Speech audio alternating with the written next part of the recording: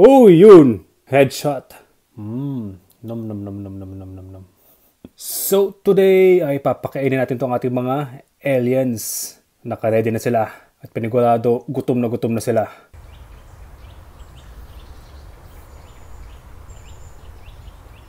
So, it's been 7 days since nung nakuha ko sila. At so far, so good. Um, settled na settled silang lahat. Um, nilipat ko na sila dito sa mga maliliit na containers para hindi na tayo mahirapan na kunan sila kapag papakainin natin sila. Yung paglipat ko sa kanila ay madali lang naman, no? Um, walang pasaway, swabe lang, very smooth. Maliban sa isa o dalawa na medyo tumatalon-talon. Ito ang ipapakain ko sa kanila, mga maliliit na locust. So itong mga to eh, gunipitan ko na ng legs. Alam ko medyo brutal yon pero kailangan gawin yun guys kasi matalon itong mga to eh. Talon ng talon, walang tigil. So mahirapan tayong huliin sila or mahirapang huliin sila ng ating mga mantis. So unahin na natin to no, ang Dinoplatis desiccata. Ganyan na lang guys. Yan. Yan. Attack. Masyadong mabilis yung locus na to. Curious siya. Saan nakainin niya ito? Yun. Oops, inawakan na, inawakan na. Inawakan na. Huli ka balbon, sabi niya eh. Ayun, ala, ala, ala, ala. Inuyan yung ulo. Inulo na guys. Grabe. Brutal tong mga mantis, no? Inulo talaga eh, no? So, yan guys, oh. Grabe, ang lupit ng isang to. Talagang inuya yung locust eh, no? Inuna pata yung ulo eh, no? Ang lupit! So ito ang isa sa mga dahilan kung bakit ako napabili ng mga mantis eh. Kasi ang lupit nilang mag-take down, ang lupit nilang kumain. So kita nyo kahit buhay pa yung locust eh, kinakain niya lang. Ano? Kawawa naman tong locust oh. Walang kawala sa ating mantis. Wasak yung skull ng locust. Ang lupit kumahain, no? Hmm, sarap ba ng brain niya? May brain kaya mga locust? Ayan, no? Grabe, sarap na sarap siya. Focus. Yan, no? Mmm. Nom, nom, nom, nom, nom, nom, nom, nom. Okay, so habang kumakain siya, yung iba naman ang patikimin natin ng locust. Tabi ka muna, boy. Tabi ka muna. Yan. So ito ang next, ang Hydrodula membranicae. Palabasin natin siya. Oops. Ba't ka nasa taas? Baba ka. Baba. Ayaw bumaba. Uy, baba ka. So, yan na siya guys. Hirap niyang pababain eh. Palapitin natin yung loko sa kanya. Yan. Yan. Oops.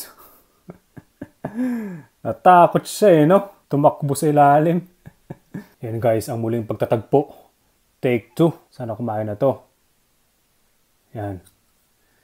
Curious siya. Sunggaban mo na Mukhang di pa ready kumain itong isang to ah. Balikan ka natin mamaya. Ito guys ang Father Spindale Affinis. Ayan. Naobserbahan niya pa eh.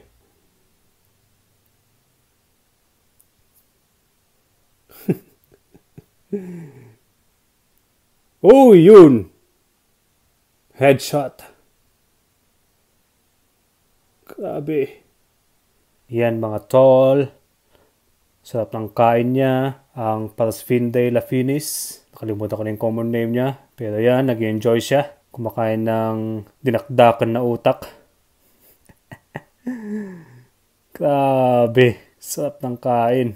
Ito yung laging active. Talon ng talon to eh. So yan. Siguro naman eh satisfied na siya ngayon at kumain na siya. Ganda sana itong i-timelapse eh no? Kung meron tayong magandang camera. Pero ito na muna guys. Yan. Yung mukha naman ng binabanatan. Ang lupit. Parang naghahalikan lang eh, no? Halik na may kasamang kagat. Astig tong mga aliens natin. Eh, no? Kahit papano eh, nakukuhan natin ng magandang scene. Itong ating feeding. So, yun guys, medyo tumigil siya kasi naistorbo ko ata siya eh. So, hayaan na muna natin siya, no? Next na muna tayo. So, break na muna tayo guys kasi itong cellphone ko eh, nag-overheat na eh. so, nag-misting ako ng konti sa tatlong to para hindi sila ma-dehydrate habang naghihintay. Eto kanina eh, umiinom eh. Sarap-sarap sa tubig eh. So, yun. So, next na ang sedempu sa pinapabonis. Okay, labas ka na. Labas na. Yan, dyan ka lang. Kulit eh. Eh, itong isang to eh, parang gustong gusto ako eh. Oh. Hinahabol yung daliri ko. Oops. Hinahabol niya. Like mo ako, ha? Malapit ka sa akin, no? Pakita ka ng takedown sa mga viewers natin, ha? Yan, diretso lang doon. Yan. Locus, bulin mo. Kumain ka para hindi ka manghina. Ayun no, inaabol yung kamay ko eh. Oops! Ano yun?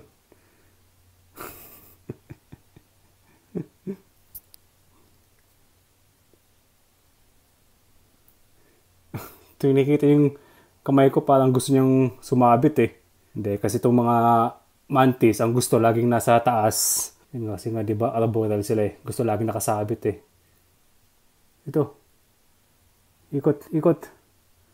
Ikot. Ikot. Yan, ikot. Dito. Dito yung locus eh. Oy! Tumalon siya. Nagulat pa ako. Stig. Ayaw kumain guys eh. Inisnab yung locus eh. okay. Um, try ko kayang pagsamahin sila sa isang container, no? Oops, sorry. Munti ko na siya napilayan. Oops. Yan. Ito namang Dinoplatis lobata. Oops. Tingnan niyo sila guys, oh. Sumusunod sa daliri ko. Dito. Dito. Ikot. Ikot. Ikot. Tatalon yan. okay, yan locust. Tumitingin ka pa dito eh. Nandito oh. Lapit dito sa locus. Yung isa nga pala eh, ayan, curious na sa locus dun sa loob ng kanyang container. curious na curious siya. Ano na, sunggaban mo na. Oops! Yun! Nice! Grabe. Headshot, ayun. Another one. Oops, saan mo dadalhin? Pakita ka muna ng lamon mo. Dadalhin yan. Naghahanap ng pwesto. So, eto na siya oh. Nakatingin sa loob ng container na ito. Parang naghihintay din siya ng takedown ng mantis na ito. Oh. so, oh. Grabe. Gigil na gigil. So, yan guys. Nilalamutak niya na ulit tong locus natin. Yung locus niya pala. Lupit ng mga aliens natin, no? O yan, pakita ka ng mukha mo alien close-up. Ulo talagang inuubos eh, no? Akit-akit pa siya. Laging ulo ang unang inuubos, no? Mahilig umulo tong mga aliens natin, ah. Grabe, no? Ano kayang pakiramdam ng locust na to, no? Na nakikita niyang kinakain itong kasamahan niya, no? Yun, pinapakita niya pa yung paglamon sa ulo. Grabe. Grabe, ang tibay mo. Okay, so dumilim na naman ang kuha ng aking cellphone. Nag-overheat na naman. Takpan muna natin siya. Uy, Meron palang mantis sa loob. Ito pala ang takip niya. Yan. So, okay. Um, break ulit, guys. Okay. So, try ulit natin tong Hydrodula membranicae. Membranicae. Interesado na siya. Mukhang titirahan niya na. Uluhin mo na. Uy. Uy. Mukhang hindi siya interesadong kumain ngayon. Hindi niya pinapansin yung locus sa ilalim niya. Yan, tinalikuran niya ng locus. So, baba na muna. Diyan. So, itong locus, alay ko dyan. Tapos, tatakpan ko ng kanyang container. And then, balikan ko na lang mamaya kung kakainin niya itong locust. Okay guys, so, sum up lang natin, no? Ito yung unang kumain kanina ang Dinoplatis desicata. So meron konting tira dito. Halos maubos yung lahat. Tapos yung pangalawang kumain eh... Sino ba dito yung pangalawa? Eto. Para sa fin de la finis. Nandiyan siya, kumakain pa rin siya. So ayan muna natin siya. And then yung pangatlo, etong Diloplatis lobata. Ayun, no? hawak-hawak na yung kanyang fried chicken. No? Ano? Elliot! And then tong dalawang to hindi kumain. Siguro mamaya kapag nandyan pa yung locus eh, ibabalik ko na sa kanilang enclosure tong dalawang mantis tapos mag-iwan ako ng live locus sa loob ng kanilang enclosure. Hindi naman primol tong dalawang to eh, kasi last week nung dumating sila sa akin eh kakamote lang nila. So siguro eh, okay lang mag-iwan ng live locus sa kanilang enclosure. Up and down, up and down, up and down. Okay, so bago ko sa balik sa kanilang enclosures ay imimist ko muna itong mga to kasi medyo dry na din sa loob eh. So magpapaulan lang tayo. Yan. Medyo mainit ngayon dito sa UK. Summer na. Umaabot na ng 25 to 30 degrees ang temperatura. Yan. Sakto lang yan guys. Unahin na natin tong Diloplatis desicata. So yan siya guys, mga kaibigan. Napakalupit. So ito yung kanyang enclosure, tama ba? Focus, yan, Diloplatis desicata. So ang gagawin ko, iwan ko lang tong malit na container dyan sa loob. Tapos tatakpan ko na lang.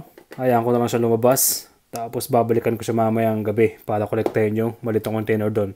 Or siguro iwan ko na lang dyan, no? Para magamit pa natin next time. Next feeding. Next guys ay ang Hydrodula membranicae.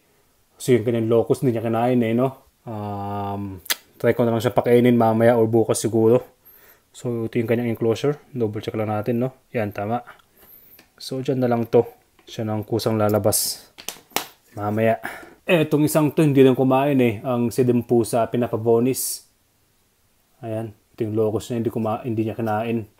Sayang. Nagkakasakay ng pagkain na. Um, ito yung enclosure niya. Double check lang natin.